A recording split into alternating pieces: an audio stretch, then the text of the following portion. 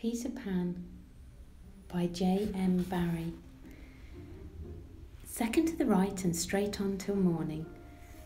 That Peter had told Wendy was the way to Neverland. But even birds carrying maps and consorting them at windy corners could not have sighted it with these instructions. Peter, you see, just said anything that came into his head. At first, his companions trusted him implicitly and so great were the delights of flying that they wasted time circling round church spires or any other tall objects on the way that took their fancy. John and Michael raced, Michael getting a start. They recalled with contempt that not so long ago they had thought themselves fine fellows for being able to fly round a room. Not so long ago. But how long ago? They were flying over the sea before this thought began to disturb Wendy seriously.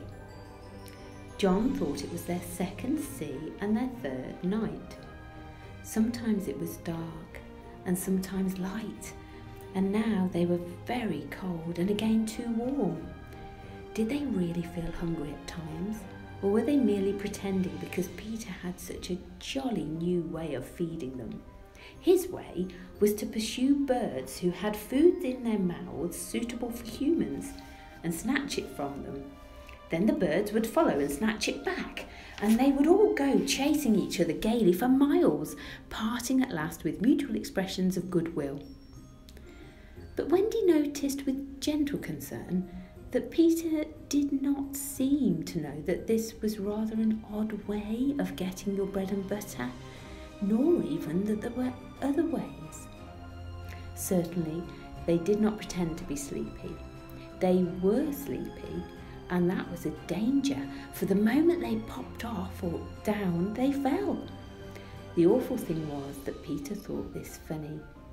There he goes again, he would cry gleefully as Michael suddenly dropped like a stone. Save him, save him, cried Wendy, looking with horror at the cruel sea far below. Eventually, Peter would dive through the air and catch Michael just before he could strike the sea. And it was lovely the way he did it.